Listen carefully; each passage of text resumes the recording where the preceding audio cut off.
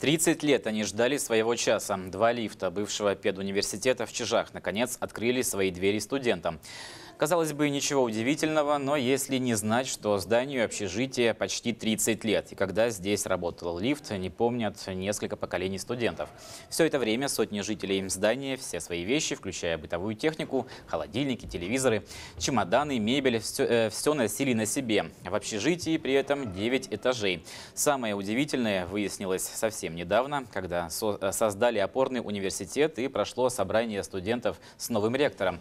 По словам технических работников учебного заведения, все эти годы оба лифта, общежития были в рабочем состоянии и могли быть запущены в любой момент. Я живу в общежитии уже четвертый год, и вот на протяжении моих трех лет проживания в общежитии всегда была такая отговорка.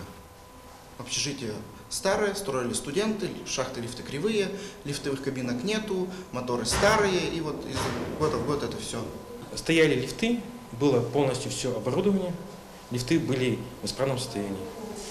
Единственное, что нам пришлось обследовать на предмет работоспособности. 30 лет оборудование стояло, могло выйти из строя.